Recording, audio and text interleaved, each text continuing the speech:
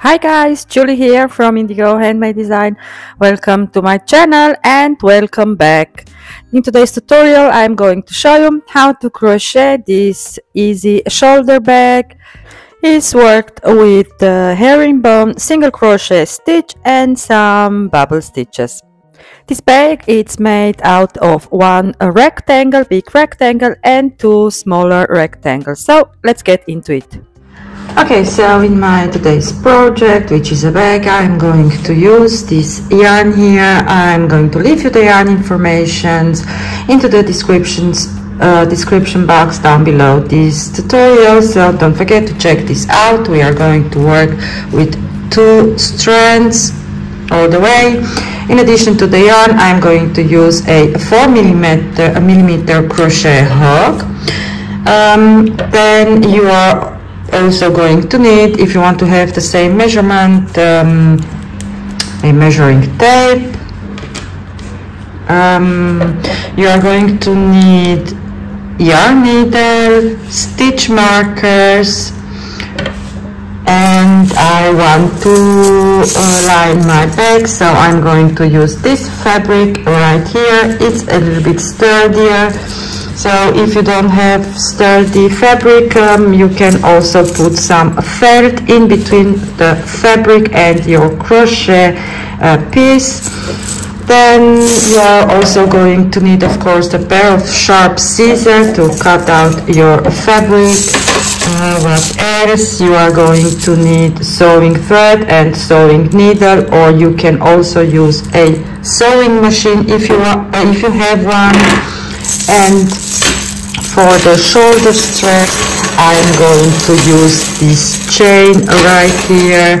Um, if you don't have chain you can obviously uh, crochet your own shoulder strap.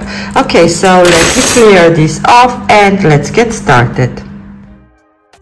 Okay so uh, to get started go ahead and take your yarn. So as I said I'm going to work uh, with two strands. And your hook. Um, we are going to start in the middle of the rectangle so with our bubble stitch. Go ahead and make a slip knot and chain a total of 101 chains. Um, for the tutorial just for the demonstration I'm just going to chain less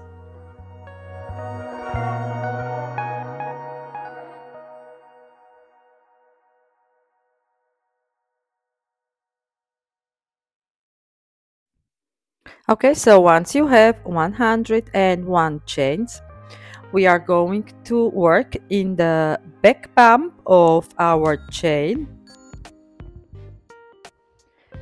and go in your second chain from the hook in the back bump like so and make a single crochet. And again in the next back bump of the chain make another single crochet and this is how you are going to work till the end of the chain.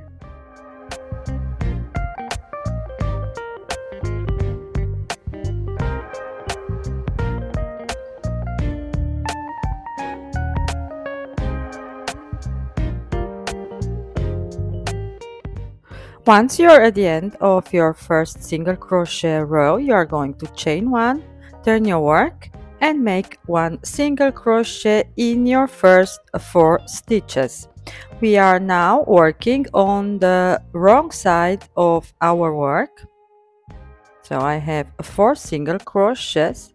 Now it's time to make one bubble and to make the bubble I'm going to use only my silver yarn go ahead in the next stitch and make five unfinished double crochet.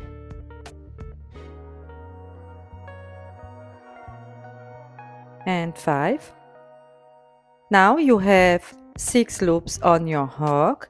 To close all of the uh, loops you are going to take both strands like so. And close now make one single crochet in your next four stitches. And four. And now again you are going to make one bubble using only the silver yarn. So in the next stitch go ahead and make five unfinished double crochets so three. Four. And five. And now take both strands and close all of your loops like so. And again one single crochet in your next four stitches and then one bubble. And this is how you are going to work all the way down your row you are going to end up your row with five single crochets. Okay so um, to start again your next row which is a repeat of your first row you are just going to chain one turn your work and make one single crochet in your very first stitch and then one single crochet in each of your stitches. Now for your fourth row you are going to chain one turn your work and again you are on the wrong side of your work now go ahead and make one single crochet in your first seven stitches So uh, when you're starting your fourth row, you are always going to start with seven single crochets. Now it's time to make a bubble.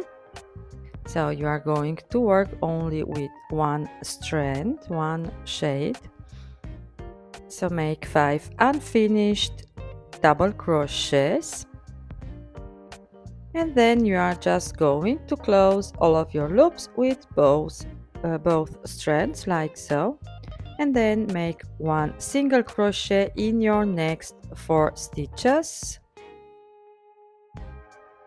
and then again you are going to make your bubble and this is how you are going to work your panel so um, this is going to be your repeat Okay, so I've made the middle part of my bag. I'm counting only my bubble stitch um, row. So I have one, two, three, four, five, six, and seven. And I finished with one row of single crochet. Now we are going to continue by making the herringbone single crochet stitch. And for this we are going to start on the back side of our work. So you are going to chain one and flip your work like so and um, to make the herringbone single crochet this is a repeat of two rows so now you are on the back side of the um, uh, of the work now your chain one doesn't count as a stitch. And in the herringbone stitch, you are always starting with a single crochet. But when you are on the wrong side of the work, you are going to go from the back to the front with your hook and then pull up a loop like so, yarn over and pull through two. Now make sure that your um, work it's not tight so um, you need to have a um, looser loop and now we are going to start with the herringbone stitch. And for this let me pull in a little bit. So this is the um, right side of your work. So you are going to go under this bar right here. And then from the back to the front with your hook. So you are going from the right side of your work to the wrong side of your work with your hook. Now pull up a loop. You have now three loops on your hook yarn over and pull through all of your three loops like so. And again turn your work flip your work so that you can see your stitches under this last um, bar right here into the next stitch like from behind of your work to the front. And pull up a loop. You have three loops on your hook.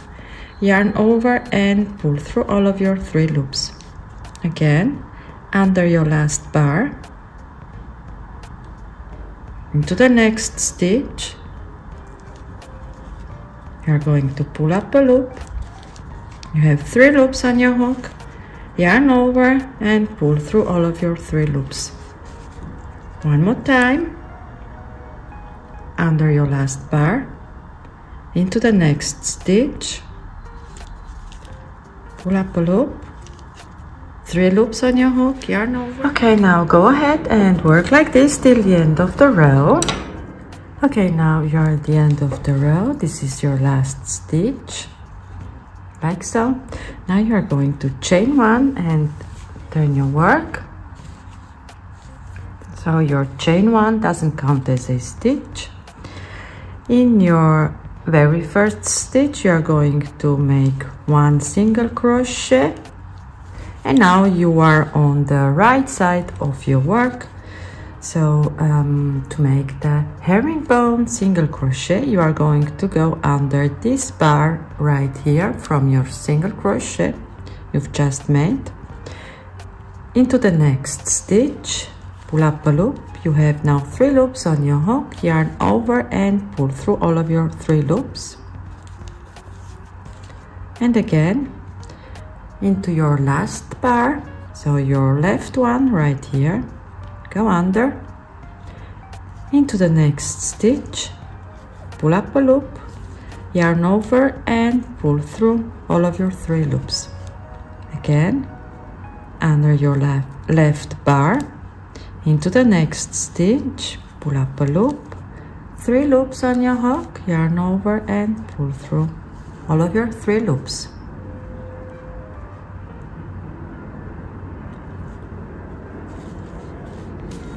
and this is going to be your repeat till the end of the row and then you are just going to repeat these two rows for a total of 8 rows. So I'm going to work these rows off camera and then I'll meet you back to show you how to work on the other side.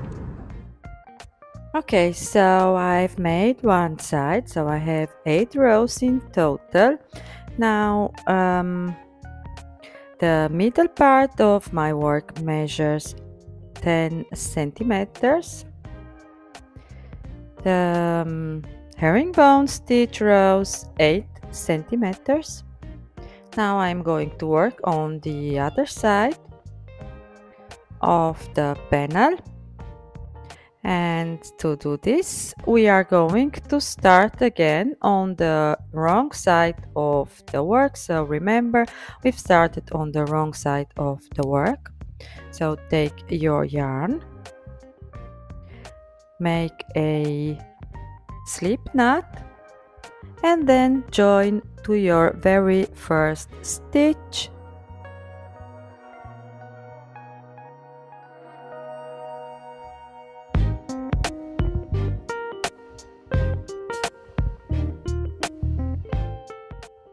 okay so this is your first stitch right here. You are going to join with a slip stitch. And then chain one and make a single crochet.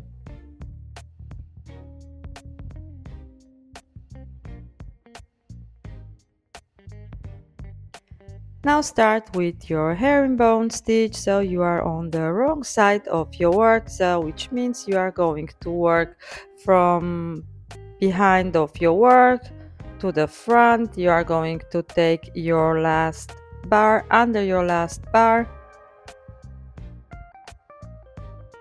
And then into the next stitch from behind of your work and make your single crochet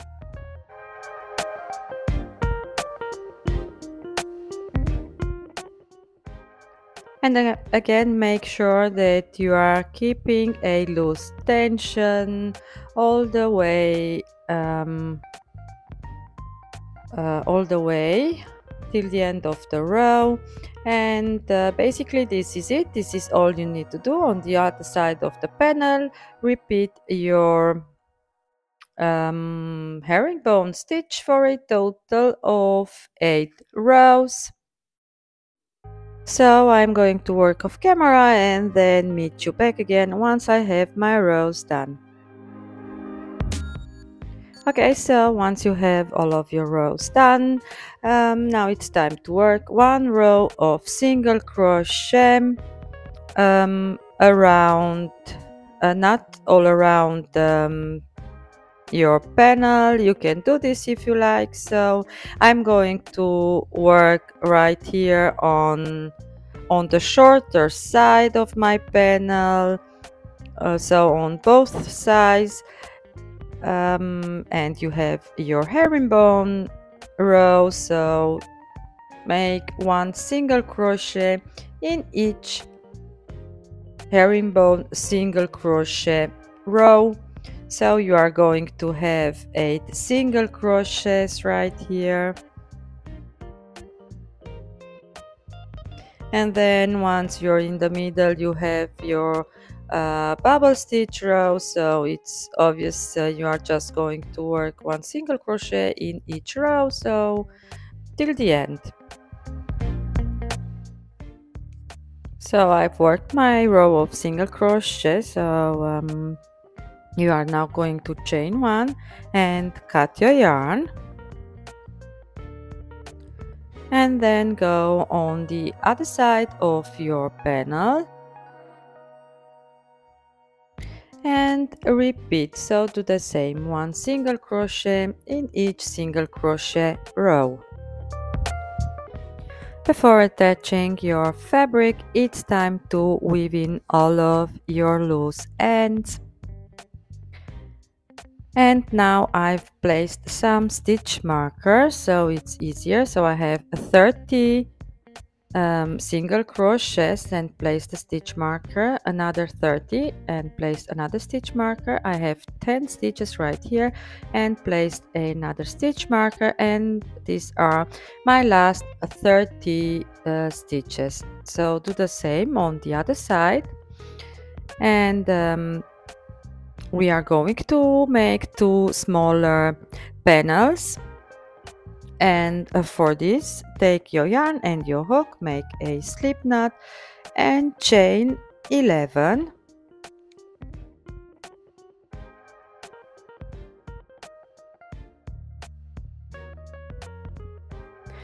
and then once you have this done go ahead in the second chain from the hook and make one single crochet and then one single crochet in your remaining chains. At the end of your first row you are going to have a total of 10 single crochets. And this is all you need to do single crochet rows for a total of 30 single crochet rows. So i'll meet you back once i have this done Okay, so go ahead and make two of those panels. I'm going to make this off camera. And then once you have this done, you are also going to work one row of single crochet all around your panels. And um, you are also going to line your bag. So if you like, so I'm going to line my bag. I'm going to line also the sides of the bag and then uh, meet you back again. Okay, so you guys, I've already um, lined my bag. As you can see, I've also lined the sides of my bag. So um, just remember, I've worked 30 rows of single crochet over 10 stitches and then once I had this done I've also worked one row of single crochet all around my panel. Um, this way it's um, easier to attach the side panel to your larger panel so to the bag itself. Um, so this is how it's going to look like. I've also attached uh, one side of the chain now let me give you a quick look on how to um, attach the side of the bag. On this side I've started right here since I want to have my sewing um, in front of the panel. Now on this side we are going to start right here. So here is my stitch marker. I'm going to start in the next stitch after my first stitch marker. So remember I've told you you have uh, 30 30 10 and the rest 30 okay?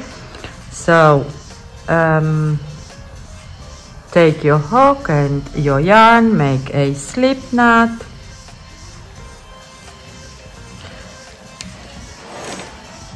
and now search for your next stitch after your stitch marker and go in the stitch.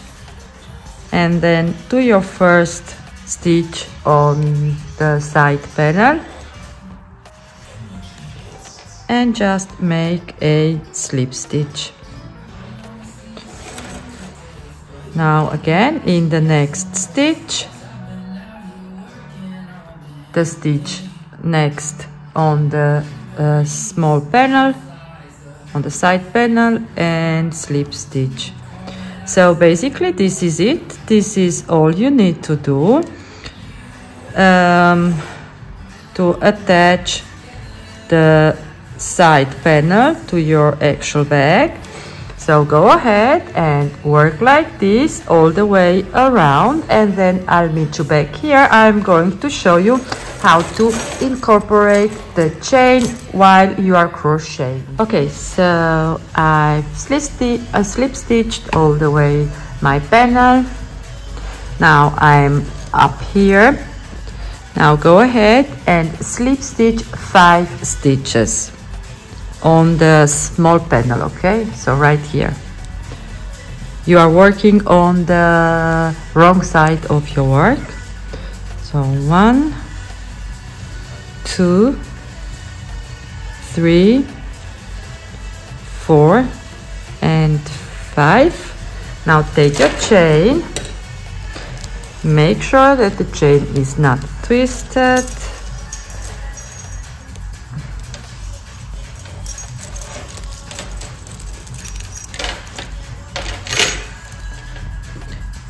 And now we are going to attach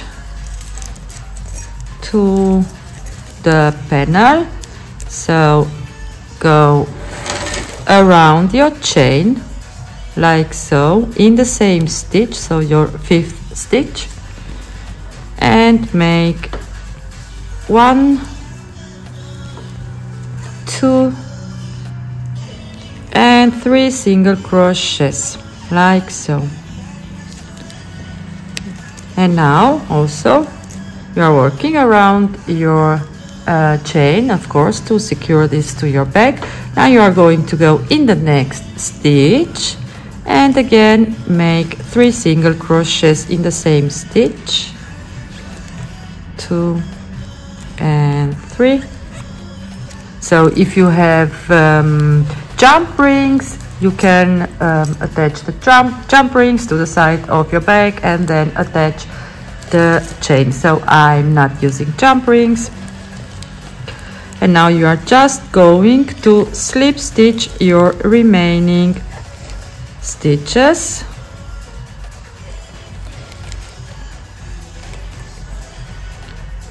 Three and four. Now chain one and cut your yarn. Pull through. Give a little nice pull. Now I like to I can take now the stitch marker off. I like to tie a few knots right here. So this is my starting um, tail and this is the tail that I've made. Now I just like to make a few knots. Like so. Just to secure that everything is going to stay in place. And now with my yarn needle I'm going to just weave in um, this loose end.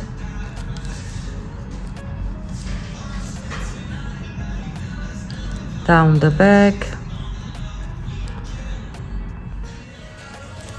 so I'm going to take one of the tail and hold it like so. And then with the other tail I'm just going to sew over.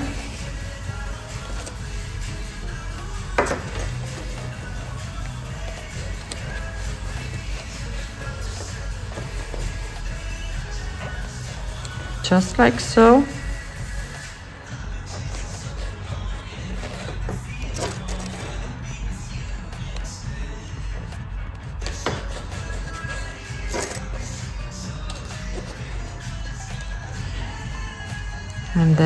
again tie a few knots